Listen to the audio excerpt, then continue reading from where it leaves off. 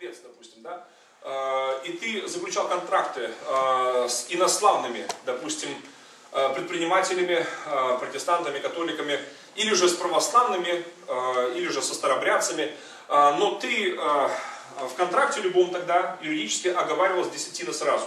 Один из первых пунктов любого контракта тогда дореволюционного – это вопрос десятины. То есть люди бизнеса сразу оговаривали десятину, которая а, по, по договору, по контракту, она а, была церковной. То есть ее не мог никто использовать, ни та, ни другая сторона. Вот, значит, это было, очень, это было законом э, и для мелкого бизнеса, и для большого бизнеса. Строительство, допустим, железной дороги в Сибири. Строительство, ну, и были проекты очень потрясающие, большие, миллионные проекты. С них тоже десятина в контракте оговаривалась, она шла в церковь. То есть это, ну, это, это, был, это, был, это был закон. Но э, православная церковь брала десятины э, все эти столетия, но, к сожалению, не учили, как правило, за редким исключением священники, не учили, для чего это, что это такое. Библейски было невежество. Поэтому э, люди э, чаще всего э, ну, злились, мягко так говоря, на эти поборы. Потому что доброходно дающего написано «любит Господь». Сегодня, допустим, возле патриарха Кирилла есть священники, священнослужители, которые говорят, что необходимо восстановить десятину. А, а, а, в Госдуму проект был уже не раз уже, там предлагался проект, но его сразу же отвергали, потому что значит, по такому случаю надо было тогда делить Россию по признаку именно религиозному. А у нас в паспортах не написано вероисповедание, как раньше было в революции, допустим. В метриках наших мы не пишем вероисповедание свое. А, а значит, надо будет опять вписывать новую графу, значит, паспорта, значит, и во все эти данные. Ну и тем более у нас отделена от государства церковь а, официально-то. Поэтому, значит, э, проект такой так остался проектом.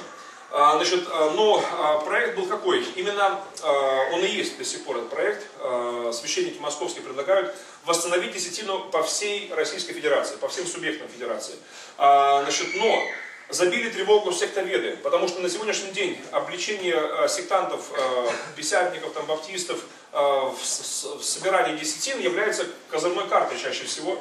Поэтому, если ведется десятина в православии, то этот, этот, этот козырь уберется из рук сектоведов. Тогда э, надо будет искать другие методики э, борьбы с э, сектантами, как бы, и э, это тоже немаловажно, э, как считается вот, э, в традиционной православной церкви русской. А, поэтому а, Кирилл, как-то выступая на московском епархиальном собрании, заявил, что а, десятины вернутся, но чуть позже, потому что вначале нужно сектантов... Э, ну, после выборов. Ну, после выборов, да. Да. Ну ладно. Да. И, значит, кстати, когда было объявлено Керенским о добровольной, не принудительной, а добровольной десятине, то э, в столице, я не говорю про провинцию даже, в столице, в Петрограде, э, 3, 4, 5, я не помню, ну не больше 5% населения э, давало десятину. Представляете, перед тем почти 100%, а здесь 3-4 там, процента э, населения. То есть о чем это говорит? Что остальные давали из-под палки. Значит, остальные были недобровольны в своих десятинах. А, больше того, а, историки пишут, допустим, что а, в армии было вообще, в армии, флоте, младший, ну, солдат, солдаты, матросы вообще отказывались дисциплин давать. А значит, вот на протяжении 17 года а, до того момента, когда большевики взяли власть в свои руки, да, был переворот такой октябрьский. Так вот, до этого момента лишь генералы и высшие офицеры, даже средний командный состав, ну, офицеры там, младшие не давали десятин. Священники жаловались, полковые священники писали жалобы в Синод, значит, что, ну так и так, что рядовой состав полностью отказывается начинать от многих подразделений. Лишь элитные подразделения, там, карательные, там, они там по-прежнему там, как бы, давали десятины. И все. И высшие офицеры. Генералы, там, значит, адмиралы и все. То есть, как бы, э, младший командный состав. Об этом Щавельский и другие пишут э, историки, как раз именно тогда работавшие в военно-морском флоте и в армии э, значит, российской, уже после импер, имперской э, России. Э, Иосиф Сталин э, просто-напросто во время Второй мировой и даже перед тем э, категорически запретил десятину православной церкви. А вместо этого а, во время Второй мировой войны было предложено а, финансовое полное обеспечение из государственной казны. Священники получали зарплату, госслужащих, и так было еще 40-е годы до 47 или 49 я не помню, годов, а потом политика вновь поменялась в этом отношении, и церковь была снова финансово самостоятельна, но десятины так не восстановили. Значит, после 91 года, говорю, несколько раз священники заикали, что надо восстановить десятину, но до сих пор бардак в этом. Но я считаю, что придет свобода тогда, финансовая, в православную церковь, когда Иисус Христос займет достойную позицию, первую позицию в церкви. Когда Библия будет не просто книгой богослужебной, но станет книгой вероучительной. Когда Божье Слово, оно будет освобождать людей. А, первое, что нужно а, сегодня сделать, даже не начать с десятины или с чего-то еще, а с рождения свыше, спасения человека. А потому что какой толк, если люди будут давать десятины со всей опять страны, вот, но не будут возрождены свыше, не будут спасены. И оно, понимаете, был уже опыт, уже много столетий, опыт собирания десятин, но без просвещения, без Слова Божьего. И это дало очень горькие плоды. Ну, из своей жизни скажу, что будучи священником э, традиционной православной церкви в Рязани, допустим, в Рязанской области, на приходах, восстанавливая приходы некоторые, я видел бабушек, стареньких бабушек, еще 1800 там, какого-то года, э, которым в 92-м, 91-м, 92-м годах было уже 95-97 лет, то есть почти столетние были. Они еще были с 19-го столетия, эти бабушки, которые давали десятину. Я был в шоке, я их уговаривал, лично я помню, уговаривал не давать этого. Нет, я не, я не был против, нет, это, мне, мне было хорошо, но я считал, что меня опозорит епархия, если узнает, что я собираю десятины. Я что, это, мы же не при царском самодержавии, как бы, э, кто вас вообще так научил? Ну, наши мамы, наших мам, их мамы научили. Тут, ну, вот как бы я говорю, э, это просто жертва, но давайте это, пусть не десятина будет, потому что, ну, говорю, ну, в епархии узнают, греха не берешься, что батюшка собирает десятину, значит. Вот, это же не принято сейчас. Говорю, сейчас же мы живем уже в 20 век, говорю, конец 20-го столетия. Но бабушки упрямо несли десятину. Не все, но это были отдельные бабушки, вот именно такие вот старые, старые все, бабушки совсем уж. А, крещены ли вы Духом Святым? Да. Как вы относитесь к Духу Святому? Очень хорошо. Очень люблю, уважаю его. И, э, значит, э, практикуете ли, э, а, практикуется ли о Духе Святом в, а, в церкви? Да. Хотя знаете ли, не во всех наших церквях, а, не все люди крещены Духом Святым, и не на всех служениях мы молимся, к сожалению, но я стараюсь молиться. Шекема, шакема, хара, шемака. Я молюсь, когда проповедую, когда... И больше того, когда людей приглашаю вперед, я молюсь об их крещении Духом Святым также. Не только о спасении, но и о крещении Духом Святым. Обычно даже совмещаем мы это все. А хотя э, вот в Киеве чаще всего последних лет практика, э, у нас молитва покаяния э, в церкви, а чаще всего за крещение духа молимся уже по домам. Хотя вот мне очень нравится, когда вместе это все в церкви совершается общей такой молитвой. Как люди реагируют в вашей церкви других верующих священнослужителей? Хорошо, у нас новые церкви, это, знаете ли, церкви уже такого нового поколения, православные. А, и у нас очень разные люди с разным прошлым, как наверное, в любой церкви. А, чаще всего это вчерашние номинальные православные христиане. А, иногда такие религиозные вчерашние православные, которые очень, ну, даже монахи есть, бывшие монашки. То есть очень религиозные, набожные, вчерашние. Но с ними обычно больше проблем, потому что человек много бесов не нахватается, если он просто раз в год там, на Пасху появляется в церкви, но если он ходит э, каждую неделю значит, там, и посвящает себя этой религиозной жизни, э, то, конечно, обычно э, там, значит, ну, легионы были, не легион, но где-то рот, рота вторая, может быть, батальон, значит, бесов есть. Надо освобождаться много тогда. Потому что, понимаете ли, когда человек, он там целует иконы, мощи, совершает прочие мерзости, у него, ну, понимаете, его душа проходной двор для бесов просто-напросто. Они там даже особо не ломятся, просто, значит, знаете, вот, э, у него сердце, душа и мозги, э, как будто бы, э, значит, знаете ли, э, двери не закрыты, а вообще э, на фотоэлементах просто открываются сразу. Бес только пришел, он заходи. А, значит, э, и поэтому таким людям очень сложно э, потом бывает освобождаться от этих вещей. Э, особенно тем, кто был погружен в такую практику, допустим, как, допустим, сорокалусты, обедня за покой, ел просворочки часто человек такой, допустим, запокойный. То есть, ну, это очень серьезная проблема, это оккультная проблема. А, вообще, отдельные семинары я провожу часто в Украине, в России, в других странах.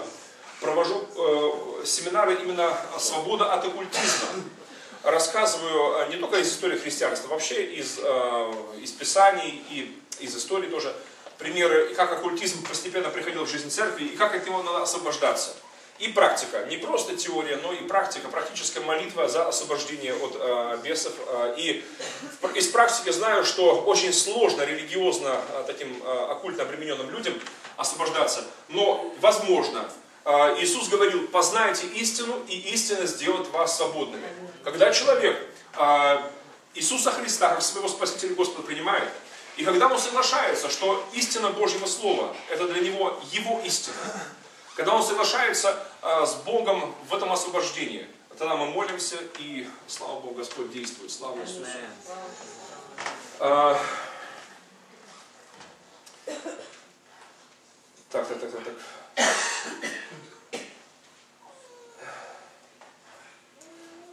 Я не понимаю. А, здесь вопрос. А, как нам всегда и что... Э, как, там, как нам вести и что делать, чтобы нас не считали и не думали, что организация как бы является сектой и вообще негативным взглядом. Новый горизонт, да? Киселевский вопрос такой, социальная работа. Ну, э, поди ты скажи, что ты не верблюд, да? Вот как бы очень сложно. Но ну, э, я считаю, что протестантам надо просто, э, ну, учиться прощать и, знаете ли, значит, ну, и делать свою работу. Аминь. Делать свое дело. А там жизнь точно надо и расставит. Многие люди, которые считают там э, протестантов, я тоже считал протестантов сектантами. Знаете ли, ну, мне было легко судить вас, пока я сам не оказался среди вас. Когда, я скажу, я когда меня там один писатель пригласил когда в такое собрание, я думаю, оно мне сто лет надо. Знаете вот, попасть, думаю, тем более я, я батюшка. Думаю, я, я же если приду э, туда, значит, на собрание к сектантам, думаю, так, ну, даже если мне будет очень интересно. Думаю, как, зачем? Зачем? Люди же, они сразу узнают. У нас же язычники. Языки вот такие. Думаю, там сразу узнаю, думаю. Вот, значит, там, а утром, а там, вечером узнают сразу же. Вот, а утром там коров погонят, все новости сразу распространяются вообще. Там вообще все, там поселок небольшой был. И, в общем-то, знаете ли, э, ну, было любопытно попасть на такое собрание. И однажды я решился. Думаю, была, не была, думаю, в конце концов, значит, это, пусть они боятся, я-то православный, это не там американская секта какая-то, э, писятники. Э, значит, и я зашагал туда, значит, в собрание. Вот, думаю, почему бы не зайти к братьям меньшим,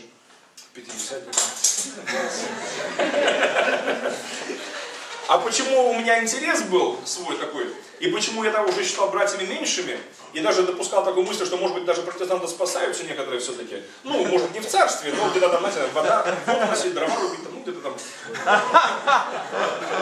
возле царства где-то.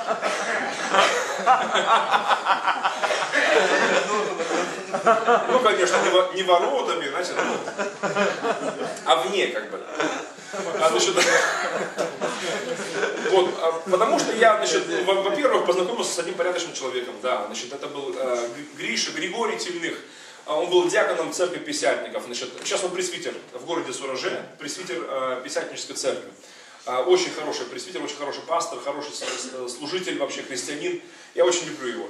Э, и э, очень хороший брат такой. И именно он был первый протестант в моей жизни вообще. С кем я вот живу, так вот по-настоящему познакомился, пообщался, и он мне понравился. Надо же, прям, ну как бы, вот все мои вот эти многие стереотипы, они рушились от этого общения. Я думал, писятники это, ну, невежды. Это, ну, люди ограниченные, люди запуганные, зашуганные какие-то там. Вот, но я, я мало что вникал в эту тему сектоведения, но, в принципе, я кое-что помнил. Еще в 88-м, там, 89-м в Ленинграде там, и в, и в Загорске на лекциях я бывал таких по сектоведению. И там обычно говорилось так, что вот есть э, главное различие, запоминайте, это вот ЕХБ и ХВЕ. Вот которые, э, ну это потом нам объясняли так вообще, не, не тогда, чуть попозже. А вот есть баптисты, есть писятники. В принципе, это ну, один диагноз, но немного по-разному. Баптисты, те, которые потихоньку с ума сходят. А писятники, которые буйные. И чтобы не было это все большим дурдомом, все совместили, сделали одной э, как бы, организацией при Советском Союзе. Вот, но э, с писятниками похлеще дело, потому что они не только буйные, но там и через одного агента ЦРУ и Масада вообще, и мирового империализма. Кстати, а в 88 году там Генри Боровик приезжал, по-моему, там, вот этот международную панораму тогда, очень известный был тогда дядька. А он приезжал в Загорск с лекциями как раз о международном, о международном положении. И там говорилось о моральном образе э, советского священника. Э, говорилось, что вот, вот наше время, когда значит, э, наша советская родина находится в таком тяжелом положении, мировой империализм там напрягается, там, значит, нас разрушить, там, уничтожить нашу родину. И вот, значит, и первыми в авангарде этой борьбы как бы находятся писятники. Они через одного, значит, агента ЦРУ, Масада и мирового империализма. Думаю, вот это да. Где-то там с передатчиками там в кустах, значит, сидят там и передают на нашей действительности все на Запад, думаю, вот это да. Вот, значит, э, ну, через одного они психопаты, через одного, э, значит, эти вот э, агенты. То есть, ну, и вот, но когда, да, еще плюс там говорилось, там, допустим, что писятники это те, которые еще, особенно не регистрированные, которые регистрированные, которые они еще как-то больше похожи на советских людей. А вот те, которые вот эти вот не регистрированные, это, это вообще как бы изгои, это вообще, ну, как бы антисоветские элементы. Вот, э, там через одного нужно душить просто и все на месте. Значит, и, ну, примерно так говорилось, а, что это враги. А, и потом говорилось, что они там и жертву детей приносят вообще. Там многие факты э, предоставлялись, вырезки из советских газет, значит, что так и так, были процессы даже. Но как бы, а, значит, им с рук сходят порой все это. Но хотя некоторые привлекают к ответственности. Значит, потом говорят, что у них там распутство на собрании, хапун называется, хапун. Э, собираются в, в, церковь, э, выключают свет и хапают друг друга, короче. Кто кого хапнет. Думаю, кошмар, думаю, в наше время такое групповое секс в собрании, значит, там, вот, хотя семинаристы мне это, это понравилось, попасть в сектантом. Мне однажды один рассказывал, не, не один, а одна э, матушка, ее муж тоже батюшка. А я, значит, я к ним в гости приехал. И, значит, она вот с такими глазами, я ей рассказываю, матушка, вот я говорю, э, вы, а, она что-то начала там, у нас там баптистов этих, вообще, как нерезанных, столько много их вообще появилось всяких. Вот, значит, э, весь поселок заполонили, там с, с агитацией ходят, с плакатами какими-то, вообще кошмар. Значит, а я говорю, а, а что ж вы на них ругаетесь? Говорю, матушка, я сам к ним приходил на собрание, хорошие люди, хорошие. Она вот с такими глазами на меня, да вы что, говорит, да они же там такое-такое позволяют себе, да вы что, говорю, я был там, меня не хапали, и никого не убивали вообще, значит, и мирные люди, значит, там, детей у них там по 10-15 человек, когда они еще убивают, убивают жертв, я не знаю, значит, там у них большие семьи, значит, как бы, ну, вообще другие люди, трезвые и, э, и прочее. Она мне рассказывает, э, нет, батюшка, видимо, вы не все еще знаете эти нюансы. А вот у моего батюшки, ну, у ее мужа, был случай. Значит, один там тракторист с их прихода а, попал к сектантам на хапун. Ну, ну-ка расскажите поподробнее от этого места. Она говорит, вот даже и вещдок принес. Он, значит, пришел как бы на хапун, а, ему там что-то сказали. И вдруг, значит, свет погас на самом деле. Свет погас, а ему стало страшно. Он вспомнил еще кое-что, что там не только хапуны бывают, а и жертвы приносят. Он же не уточнил, какое собрание. Вот, и, короче, он, значит, там ломанулся со всей дури к выходу. Он уже, как бы, ну, хотя было темно, свет погас, но он вычислил, куда надо ломиться, если что. И он прямо к двери, и на какую-то сектантку напоролся там, хапнул ее платье кусок. Вот, та визжит. Короче, значит, прибежал домой, значит, а на утро был на исповеди в храме с вещдоком. Вот у сектантки платье кусок оторвал, значит, короче, был на хапуне. Я говорю, а ну, матушка, ну, понимаете, там все-таки сельская местность, поселки, там часто свет вырубают. Нет, у них не просто так все спланировано. Вот, понимаете ли, вот такие всякие суеверия, всякие такие вообще страхи, ужасы такие, да? Вот, и э, я скажу, из-за чего? Потому что мало общаемся, мало христиане встречаются, общаются, и поэтому, как бы, ну, такие всякие предрассудки страхи. И э, когда я с этим Григорием познакомился, порядочный человек. На хапуна не похож, значит, на убийцу тоже, значит, нормальный, приличный. Думаю, наверное, он недавно в этой секте. Поэтому, наверное, порядочный человек. Оказывается, он там родился в этой секте. Оказывается, его дед был сектантом, и отец был сектантом, и он сам писятник писятничек. Короче, э, потомственный уже сектант. Значит, э, но порядочный человек. Значит, и э, Григорий, значит, он меня так расположил к себе, так, разговором хорошим таким. Хотя он вначале прикинулся православным, все-таки. Ну, дитё Авраама. Значит, он вроде как бы так по-православному со мной вначале запел. Значит, а потом он сам себя нечаянно сдал. Он из, Библии что-то процитировал там, близко к тексту. Он не сказал там цитату, но я понял, это что-то оттуда из Библии. И у меня сразу ёкнуло внутри. Наши люди Библию не читают. Думаю, что-то здесь не то, думаю. Он что-то не смахивает на православного-то сильно. Я так говорю, Гриша, вы, говорю, христианин? Он говорит, да, христианин. Я так конкретизировал, знаете, как Ленин на буржуазии. Говорю, православный? Он говорит, такой, говорит, ЕХБ, или как, нет, ХВЕ, ХВЕ, ХВЕ. Это ж вообще, думаю, кошмар. Э, буйный. И я, и я сразу начал в э, нападении такое, сделал защиту такое. Я говорю, какие же вы христиане, говорю. Креста на вас нет, говорю. Не молитесь, святым не молитесь. Мощей у вас нет, говорю. Там какой-то Бенни с Хином и все, говорю. Ничего у вас нету. Значит, и я ему дал книгу о Богородице почитать, а он мне дал книгу, э, ну, мы обменялись, короче, книгами. Он мне дал книгу насчет Эрла Штегина, проповеди немецкого проповедника в Южной Африке. Потрясающая книга очень. Эта книга меня побудила вернуться к Библии. Эта книга, она сделала революцию в моей судьбе тогда. А книга называется «Время начать суду с Дома Божьего». И это проповеди Эрла Штегина, которые меня тогда пробудили. Знаете, спящего такого христианина. И скажу, что когда Библию я открыл, нашел свою Библию, после Эрла Штегина, значит, нашел свою Библию, открыл ее, сижу с ней, смотрю в нее и, знаете ли, и слышу тихий голос, как моя мысль. Знаете ли, ну, я же не сумасшедший сам с собой разговаривать. я понимал, что это Бог говорит, что Он вот, вот прямо сейчас ко мне говорит. И Он сказал, знаете что, этот голос, Сережа, так приятно вообще. У меня шестеро детей, то не бывает. Как бы ошибаюсь с именем.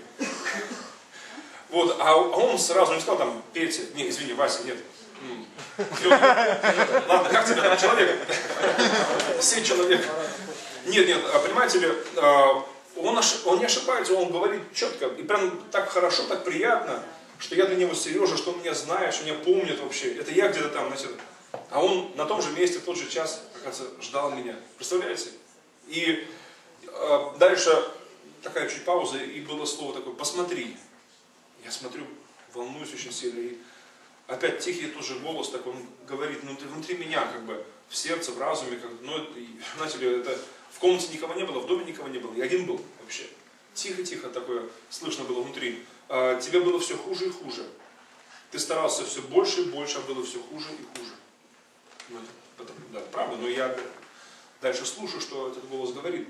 Потому что слово мое, оно ушло из твоей жизни. И все, больше голос еще не говорил в тот день, по крайней мере. И, знаете ли, я, значит, просто-напросто, ну, покаялся. Не, не из молитва слова, не, не откуда-то еще, просто своими словами говорю, Бог, прости меня, пожалуйста. И я, ну, каялся в том, что слово его, оно ушло из моей жизни. А, потому что до 88 года Слово Божье, оно было, а, ну, для меня святыней. И на самом деле я читал Библию и жил ей. А, но став служителем православной церкви, а, начав служить в православной церкви, Библию я стал терять из виду все дальше и дальше. А в 91 году, став священником, я вообще а, ну, Слово Божье забросил за хребет, будем так.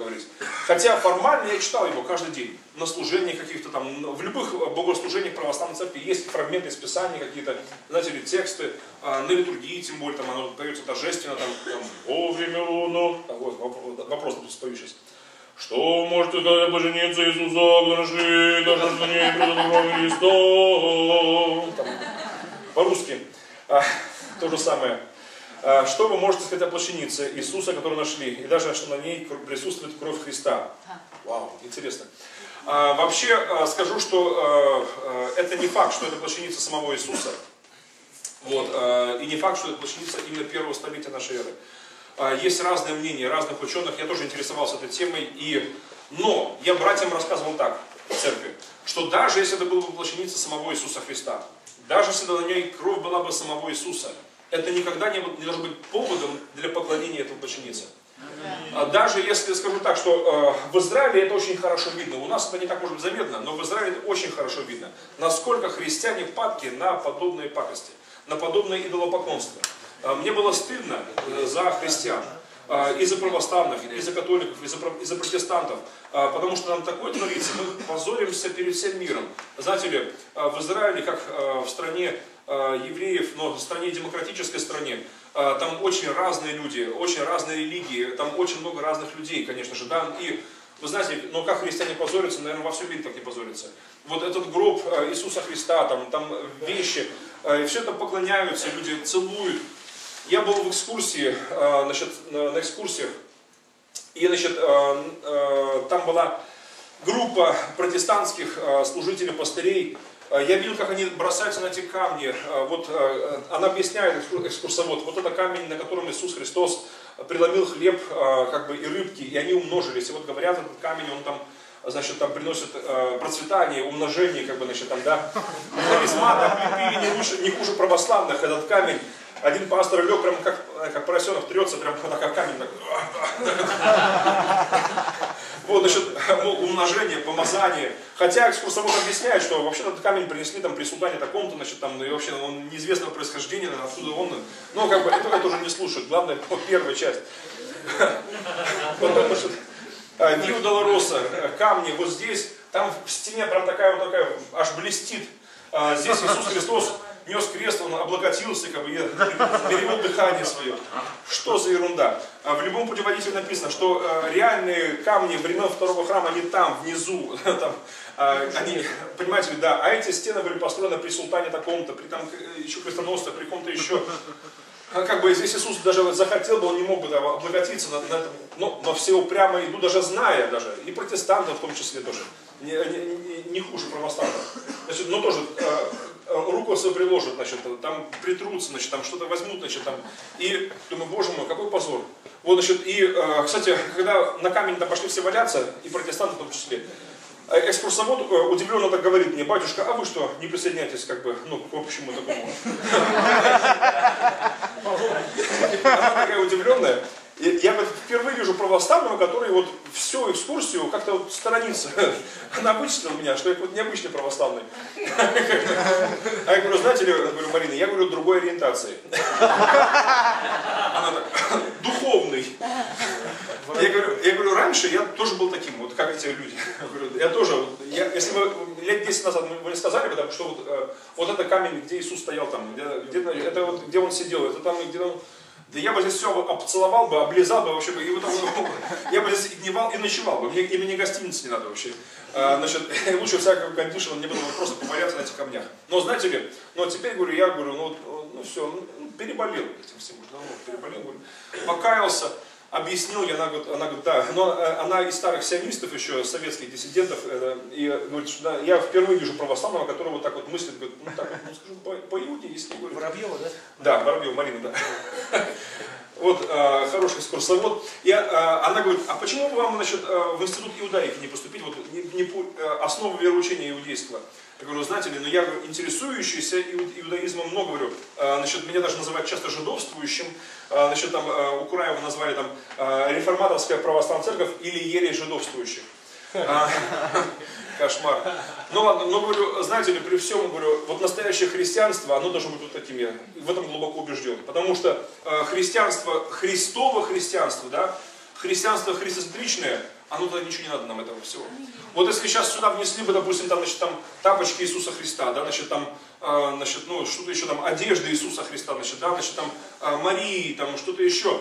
Вот э, какова была бы наша реакция?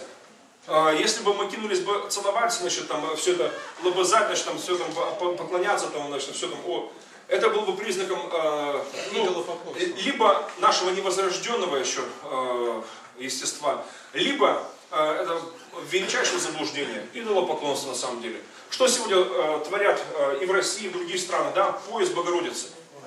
А поясание Богородицы. Чем мой пояс хуже ее пояса? Я не понимаю. Значит, э, хотя э, уже доказано, что это подстава, что это э, поясок, он э, известного происхождения, что он ни, ни, ни в коем разе не может быть времен э, самой Марии, там, Иисуса Христа. Но как бы люди ломятся, говорят, миллионы людей уже поклонились этому поясу вот это да, безумство. А такое массовое зомбирование просто происходит в населении, значит, на глазах у, у всей страны. Люди стоят в очередях. Я сам, в принципе, чудил тоже раньше, но не, но не до такой степени вообще. Вот. Бо я сам не поклонялся никаким там кандалам или чему-то еще. Хотя мощам поклонялся, мощи целовал я, да. Было дело. Я помню, как у меня было там однажды с Пантелеймоном. Голову Пантелеймона, брат этого, которому отрубили голову, возят по всему миру шоу такое создают. Знаете, это ужас. Вот, значит, и у вас нет мощей там, Проханова или Воронаева, нет? Ну, мало ли, как Да. Ну, э, знаете, друзья, э, скажу, что это ужасно, конечно, что вот э, так все происходит. Я лично целовал эти мощи, я помню, там выставила в очередях в этих. И мне казалось, что это от Бога все. Потому что не только идея, но даже само вот это вот какой-то, знаете, вот эйфория, радость какая-то, какой-то такой мир какой-то. Вот мне не, мне не хотелось спать, не хотелось есть, значит, я, значит, знаете ли, выстаивал эту очередь, у меня были знакомы в тех монастырях, в некоторых храмах в Москве. Они могли бы меня без очереди провести бы туда к этим значит, мощам, но я решился вот именно так вот э, выстаивать всю очередь, чтобы как бы больше удостоиться, как бы, чтобы вот именно, ну, понимаете ли, подождать, как бы подготовиться, настроиться как бы больше. А, тем более мне нравилось, что там женщины там были, а, ну, в основном, и они со всего Советского Союза приехали, там, эти бабушки, там, всякие, они пели эти э, песни, там, акафисты, там, значит, и читают, и очень такие, значит, такой как бы э, дух такой интересный поднимается, и все, все хорошо. А потом, когда приходишь уже, отстоишь, аж ноги гудят уже, значит, э, не присесть нигде вообще, э, то, значит, заходишь э, на финишную прямую, такую уже ковровая дорожка такая, и в конце, в золотом ларце, это голова этого Пантелеймона. Возле нее там эти такие ребята стоят такие в рясах, да, э, security, Orthodox security. значит, и, значит, э, а возле этого ларца старичок сидит такой, похож на Бен Ладена, кстати, такой, такой, такой старичок, такой монах такой сидит. Значит, и это четочки перебирает, значит, и он смотрит, так раз сканирует всех. Значит, как бы, да, значит, э, и когда он видит особо набожного, то он, значит, руку протягивает и открывает щеколду там какую-то, и крышечку снимает, и позволяет прямо в черепок поцеловаться. Не, под, не за стеклом, а прямо в череп поцеловать Пантелеймона. Я был таким счастливчиком. Представьте себе, я был таким радостным, думаю, надо вот это, я только подхожу, он раз отсечет, так, о, свой как бы. Дурак дурака пить издалека. Вообще буквально прям. Значит, он снимал эту крышечку, и я прям в черепок Пантелеймона. Я потом думаю, ну я же вообще ну, не, не буду мыться, ничего, чтобы, значит, чтобы святость на губах осталась. Думаю, вот это да. Значит, а на другой день опять в, череп, в черепок, потом опять в черепок. Думаю, вот это счастье мне привалило. Знаете,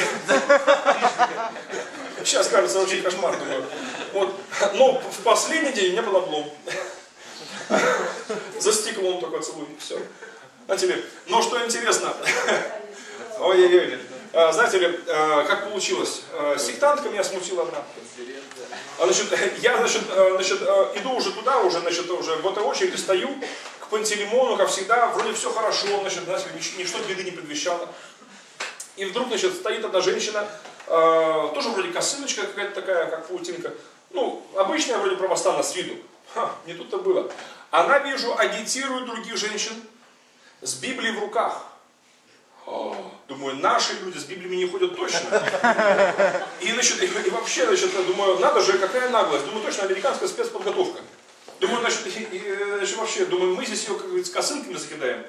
Она одна, нас тысячи, и она хоть бы что, стоит и там что-то там говорит, что-то там декларирует. И женщина, самое интересное, смо смотрит, слушает и поддакивает, думаю, какой кошмар.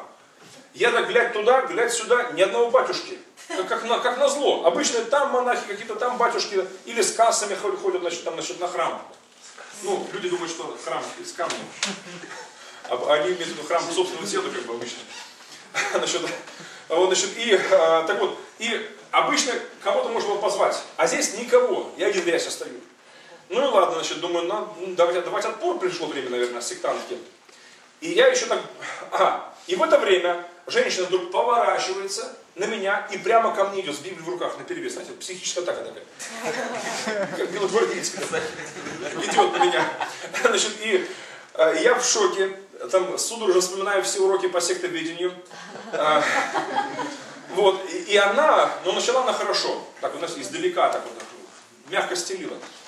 А, значит, что я вижу, вы батюшка, я вижу, вы там как бы учитель, там, наставник, невежд, как бы что-то такое. Мне понравилось вступление. Ну, как, как бы, ну, ты говоришь, как бы. А, под, а потом, да, а потом они, э, она, значит, сказала такие слова, говорит, батюшка, пожалуйста, вот на основании вот этого слова, вот Библии, расскажите мне, что сейчас здесь происходит. И все, знаете, вот, мой компьютер завис. Никакие сочетания клавиш не действовали, даже самые религиозные. Знаете, мощи там, что-то еще там, ничего не действовало. Все. И первое, что выдал мой компьютер, был афонаризм такой. Женщина, вам этого не понять.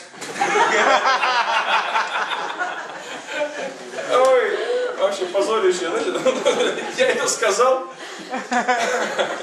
Я потом уже много что наговорил бы потом бы. Но она вовремя ушла. Она поняла, что я не в состоянии сейчас нормально дать ответ. Закрыла и ушла.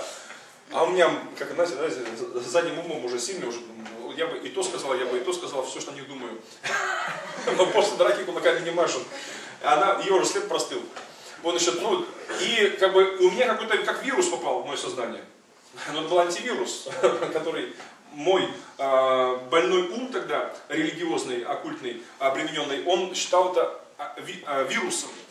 Дело в том, что у меня вопрос такой был внутри. А на самом деле, по большому счету, что происходит на основании, на основании моей деноминации учения, все хорошо. Но на основании вот именно Библии, так вообще все как раз по-другому. С точностью да наоборот. Это что надо было ей испортить мне настроение. Я достоял очередь, конечно же, думаю, ну, но у меня, видимо, вопрос был на лице написан. И когда я дошел до конца, уже к ларцу самому, думаю, ну, сейчас хотя, хотя бы, ну, стресс сниму, поцелую по. Не тут-то было. Этот, значит, знаете ли, этот дедушка посмотрел на меня так, и нет, нет на общих основаниях за стеклом поцелуй и все, и. Я в шоке, думаю, надо же, бы телефон очень не получилось, вообще, думаю, вообще, день на смарку. Ну и я, конечно, домой приехал, вот, а, но, знаете, слава Богу, что были такие случаи, которые заставляли задуматься, которые заставляли, вот, сеяли такие какие-то сомнения в, эти, в этих твердынях религиозных. И слава Богу, у нас еще немного времени, я хочу ответить на вопросы и разойдемся с миром, да? Так, а, православие, а, так, так, а, очень интересный вопрос. Православные унаследуют Царство Божье? Вау. А, ранние протестанты, кстати, очень интересно рассуждали. Вот историческая справочка.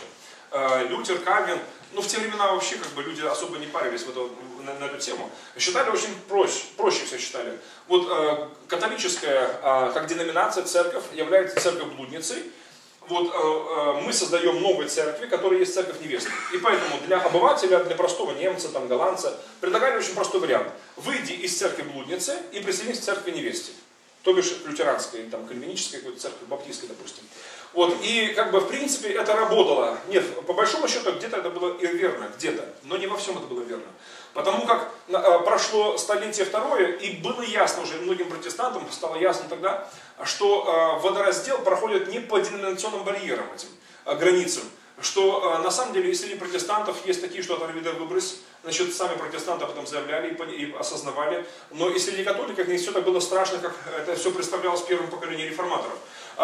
Стало потом проясняться, что экклезиология Иисуса Христа, учение Иисуса Христа о церкви, оно гораздо проще учения наших церковных учений. А Иисус Христос говорил о двух или трех людях, собранных во имя Мое. А, и там, где я посреди них. А, и здесь не важно, какие это баптисты, пятидесятники, харизматы или адвентисты или кто-то еще. Яговисты, мормоны, я не знаю, кто еще, кого можно назвать. Около христианские или христианские церкви, какие-то группы, секты, неважно. Я стараюсь держаться принципа вот Иисуса Христа. И для меня проще а, на самом деле, последние вот эти годы я выяснил для себя следующее, что для меня проще иметь дело с людьми, у которых пусть неправильная теология в голове, но правильное сердце, и они ищут Бога, а, чем с людьми наоборот, которых, у которых правильная теология в голове, но неправильное сердце, и они не ищут Бога. А, и может быть в самой идеальной вероучительно библейской церкви, но быть просто-напросто ну, не удел. Иисус, рассказывая проще скажу, да, что Иисус, говоря о Царстве Божьем, о Церкви, Он не имел в виду, что будет, допустим, вот отдельно грядка э, сектантов, отдельно грядка э, христиан. Отдельно будет поле засеяно сорняками, отдельно будет злаками. И потом будет сбор урожая. Он так не говорил, он будет все будет перемешку. И будет бардак до самого конца последнего дня. А, и а, будет желание выдергнуть, это тоже было написано, да, что не потери нам и не сделать. Это, это время времени нас разбирает это. Но Иисус успокаивает работников, говорит, не надо, не вы сажали, не вам вырывать это. Вот, значит, часть посадил Бог, часть посадил дьявол, но все растет. И Господь придет и разберется. Вот солому сожжет, злак соберет. А, поэтому а, я понимаю, что и здесь вот, на грядке вот этого собрания, допустим, не все, знаете ли, морковки. А, не все а, в закрома пойдет.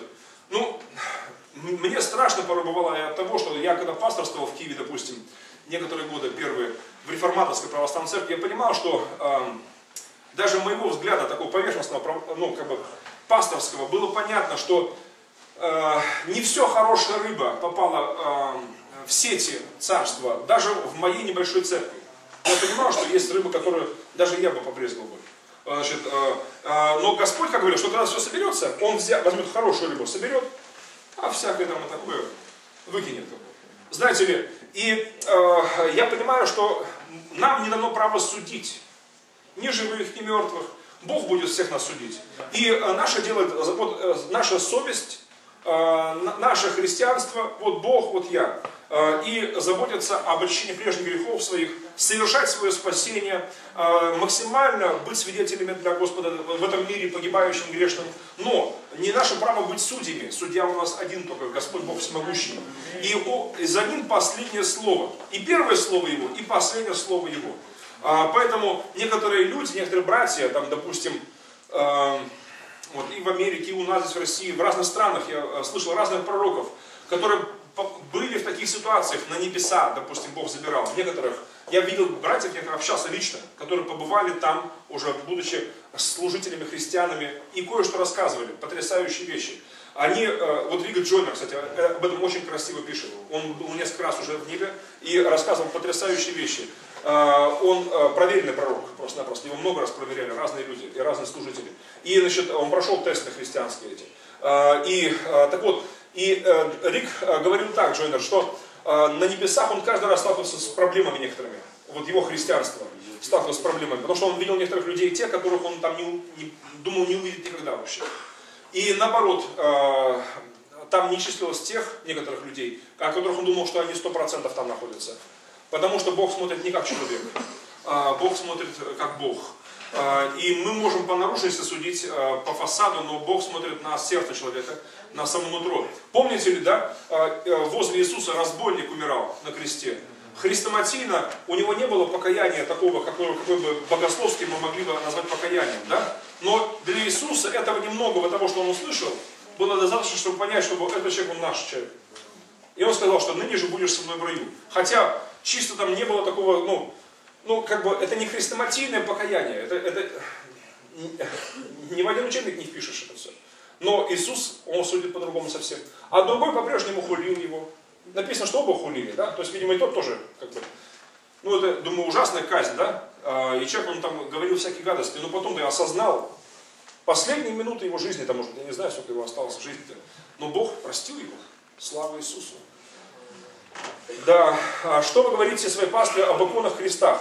Я говорю каждый раз, чтобы они э, не верили религиозным аферистам э, в рясах с крестами по ноги и на груди, и чтобы никогда э, не целовали ни иконы, ни мощи, там, ни такие. А нет, ну те, которые ходят к нам уже постоянно, те уже знают это все. Но новые люди, конечно, порой там они смущаются и говорят, как же так вот, э, а вы же православные. Я говорю, да, мы православные. Я говорю, раньше был кривославным, теперь я говорю православный. Э, я раньше был кривославным, потому что я целовал иконы и думал, это угодно Богу. У меня были промыты мозги эти, эти, этими семинарскими а, бреднями, что, мол, а, как нам говорили, о, до сих пор это говорят. Кураев это в своей книге написал прекрасно, описал так эту ересь. Мол, а, знаете ли, а, через образ на первый образ парень любит девушку, он целует фотографию этой девушки и думает об этой девушке. И вот мы, православные, говорят, мы любим не саму икону, мы не самой иконе поклоняемся, ни краскам, ни доскам, но-но-но, это все написано об идолах, а это написано, а, а, а мы иконам поклоняемся, а через икону, точнее, мы Богу поклоняемся. Ха. Вот господа аферисты, что говорят. Но, а, что говорит Слово Божье? Божье Слово осуждает это все.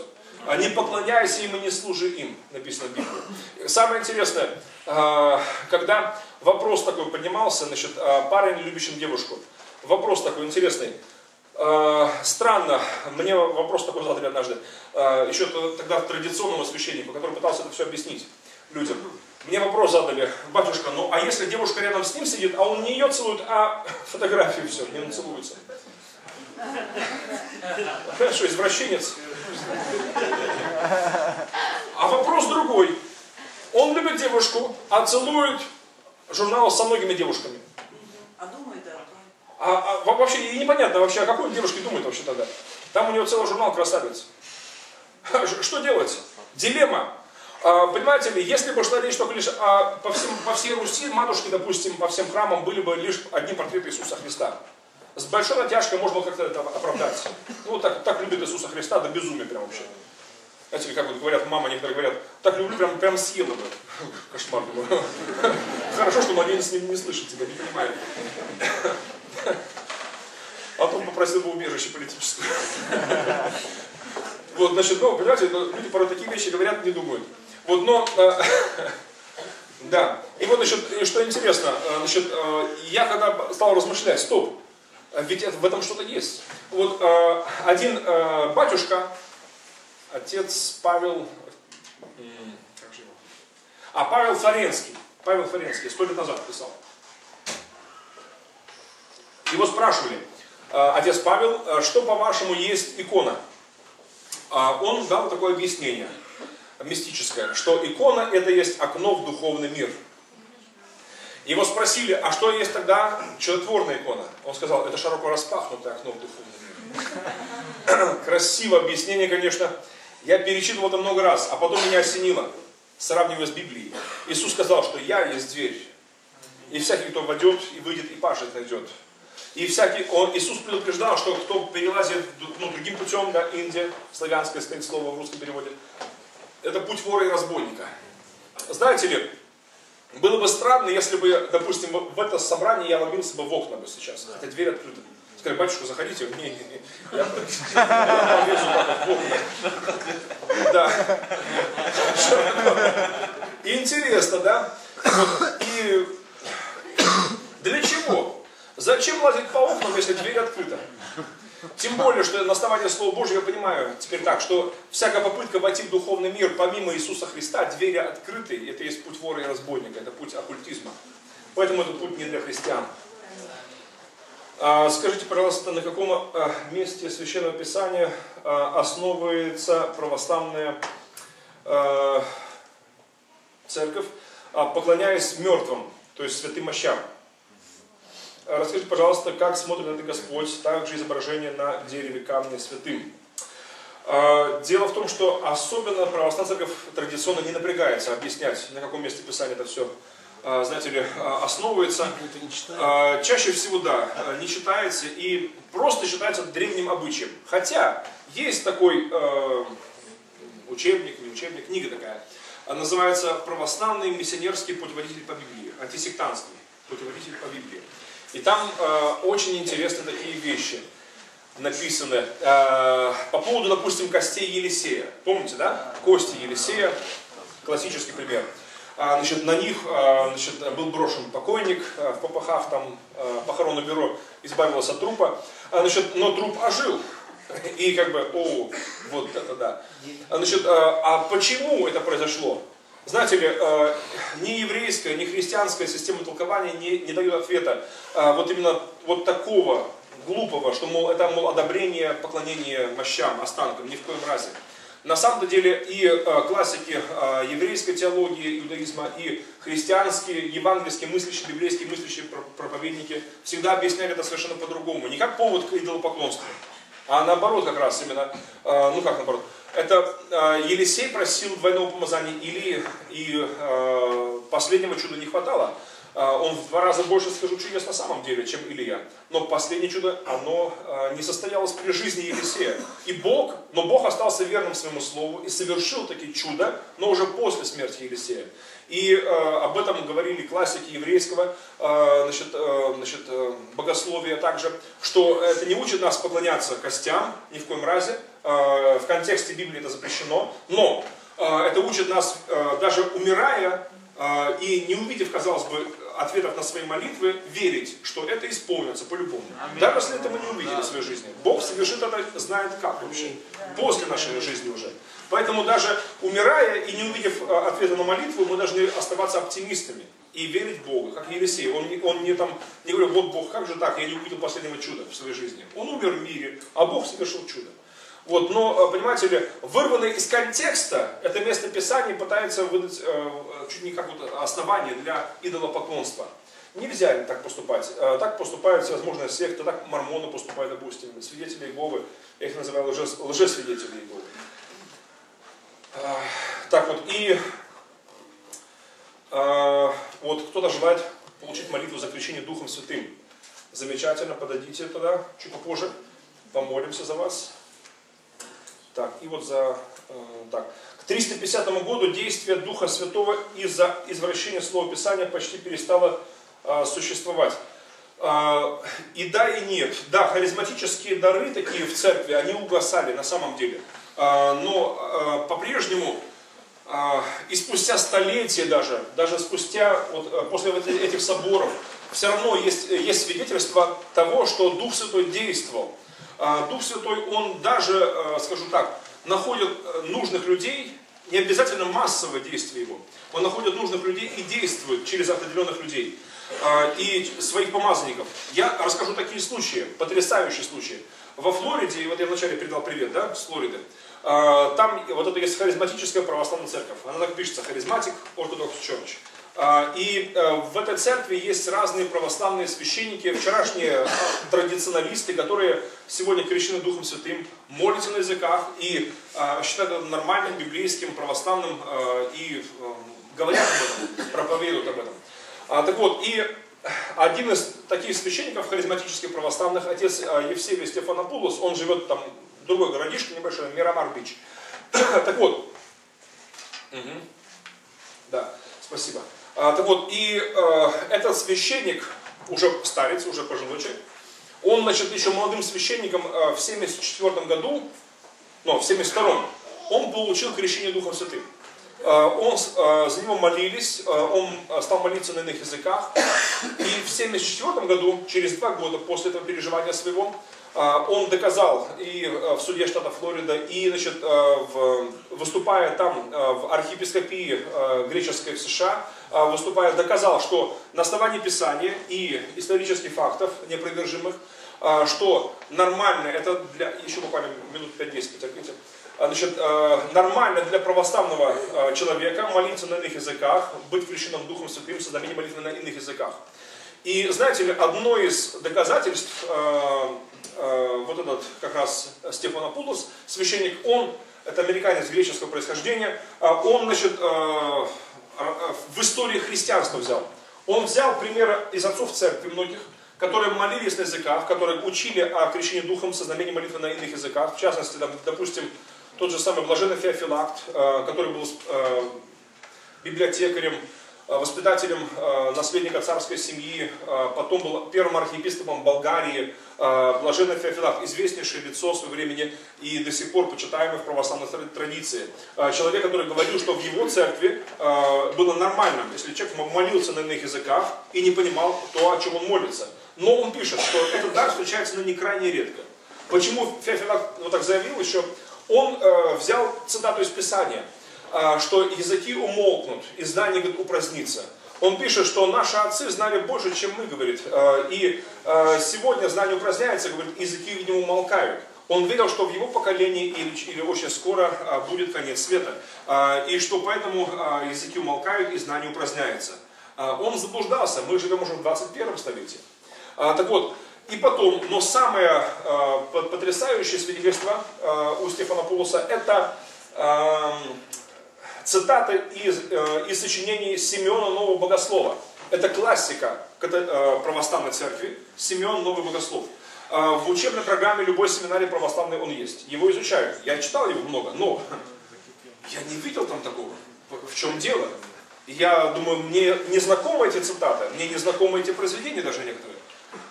Дело в том, что Семен Новый Богослов, а, он вроде бы популярный святой, его издают на русском языке сегодня много, но издание, опять-таки, цензурное, царская цензура в 18 потом в 19 столетиях, просто-напросто целые главы из этого отца запрещала к изданию, к переводу.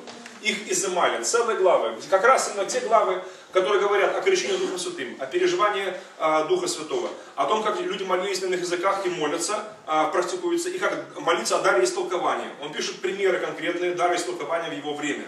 В средние века а, в Византии были те, а, что молились на языках в церкви православной. Истолковали, истолковывали языки в храме, в присутствии епископа. И это благословлялось патриархом Вселенским. То есть это как бы ну, не укладывалось в сознание э, цензоров 18-19 столетий. Э, считали, что эти переживания не следуют. Допустим, Паисий Величковский, один из переводчиков, писал, что э, чтобы не смущать э, русского читателя э, такими э, переживаниями, которых сейчас нет в православии, э, лучше изъять эти главы просто-напросто. И что и делалось. Э, на английском языке есть бесцензурное издание, полное собрание Семена Нового Богослова. На русском, во-первых, нет полного до сих пор еще. Во-вторых, что есть, то есть цензурное. Поэтому я, я просто искренне позавидовал, по-хорошему позавидовал англоязычным христианам, у которых есть такое богатство. И, конечно, э, э, вот на основании этих отцов, э, ну, скажу так, что для православных очень важно, конечно, не только из Писания, но еще и из вот, преданий таких вот моментов привести. Мне очень сильно помогло в моей жизни. А зачем православная церковь отпевает умерших? Вот это Иисус сказал так, у Матфея записано 22-29. Заблуждаетесь, говорит, не зная Писаний, ни силы Божьей. Все заблуждения происходят от незнания Писания, от незнания силы Божьей. А вообще молитва за упокой пришла через спиритизм. Э, во время отступничества э, уже христианства э, пришла через спиритизм, через общение с умершими, как бы с бесами общение. Но Павел правильно говорил Коринфянам, я не хочу, чтобы вы были в общении с бесами не может пить чашу Господню и чашу бесовскую. Мы, думаю, сейчас помолимся через 5 минут, помолимся молитву покаяния, и если у кого сердце расположено молиться молитву отречения, помолимся молитвой отречения, а, отречения от заблуждений. Потому как а, сегодня, я думаю, многим людям важна эта молитва, и к нашим зрителям также обращаюсь, говорю, а, не поленитесь, помолитесь этой молитвой. Как свечка на поставленном храме может спасти чью-то душу? Тоже суеверие, господа. Кстати, о свечках это вообще отдельная статья. А, а, свечки считались, а, знаете ли, просто для освещения помещения. Не было электричества. Знаете ли, далеко было еще до лампочки Ильича, Эдисон еще не родился и прочее. Так вот, и что же сделали? Освещ... Тем более, что проводилось время в темное время суток, чаще всего и не было больших окон. Знаете ли, стеклопакеты были неизвестны нашим предкам, согласитесь. И, в общем-то, окна были узкие, маленькие, высоко располагались. Освещение даже днем было очень слабым в храме, в любом. А, поэтому зажигались лучины, свечи, а, чаще всего свечи такие. А, и со временем окна были больше уже, света было больше, но традиция зажигать свечи осталась. Это недоразумение. Хотя красивое недоразумение, мне очень нравится. Но э, не так, когда там, знаете, в ужаснике там много свечей, там, там и черное место. Вот, а вот э, просто вот э, зажечь семисвечник там, или две свечи, шаббат встречаем, допустим, если две свечи хозяйка зажигает, очень красиво, знаете, вот, мне это радует очень сильно. На основании чего э, многие православные братья и сестры э, молятся святым Божьим. Я уже говорил, да, э, что это э, святым молятся, от, опять-таки, нет большого ума. Святым молятся от большого заблуждения, к сожалению. Во многих протестантских церквях есть женщины-пастора. На основании Слова Божьего правильно ли это? А, у нас тоже есть, не только в протестантских э, церквях. В нашей церкви тоже есть женщины-священники и женщины-диаконы. А, диаконисы и, пресвитери, и пресвитериды их называют. И, в общем-то, э, и в нашей церкви, и э, то есть женщины в с крестами на груди, значит, у нас тоже проповедует Слово Божье. Вот одна из них, Любовь Давидовна Кушнир, она несет служение целое, не просто даже ну, как бы обычный священник, а целое служение большое несет, значит, называется Ханука или Ханукальная православная церковь, обновление.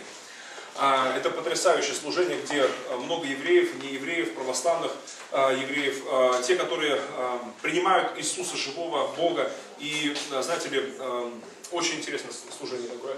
Так вот, а, это не противоречит Слову Божьему а, ни в коем разе. А, Дух Святой сошел не только на мужчин в день Пятидесятницы, а, но и на женщин сошел. А, И не только мужчины были проповедниками Слова Божьего, но и женщины были проповедницами Слова Божьего. И э, как э, Ти Лосборн как-то просмеял эту э, теорию, что, мол, только мужчины должны проповедовать. Говорит, получается, Дух Святой сошел на мужчин, чтобы они проповедовали, а на женщин, чтобы они молчали. Странно очень, конечно. Вот, э, и скажу, скажу больше, э, исторически, историческая справочка. Вот в эти времена, когда э, гнали христиан, э, были и мужчины, и женщины-служители. Было очень много женщин-служителей. Потом в четвертом столетии тоже и мужчины, и женщины были диаконисы, были пресвитериды. Э, Кстати, э, официально э, пресвитерид, пресвитерид, то есть женщин-священников, было запрещено предполагать не помню точно, шестой Вселенский собор, где-то возле шестого собора. Это седьмое столетие, можно так отметить. То есть, получается, гораздо позже. То есть, до самого... И в это время еще предполагали женщин, но хотя все меньше и меньше. Э, ограничивали женское служение лишь, допустим, подготовкой к крещению одно время, э, или же работа катехизаторов, значит, там. Но, в принципе, э, вот в те первые времена было по-другому все. Даже есть женщины, которые в календаре православной церкви почитаются как именно апостолы, допустим, несшие апостольское служение, допустим, равноапостольная Феокла, равноапостольная Нина, хотя говорят, что они не были священниками, а, но они несли апостольское служение в церкви. И, но опять-таки, как и женщина, так и мужчина а, должны а, осуществить свое призвание, которое Бог, а, к чему Бог призывает. Поэтому а, я не сторонник а, руководить всех подряд, а, если не будет призвания Божьего. Но если человек приз- призван, если он хочет служить Богу бескорыстно, на самом, на самом деле у него в желании есть служить Христу, то это мужчина или женщина, пожалуйста, он может нести служение должен нести служение. Слава Иисусу. Хорошо, господа, записочки закончились.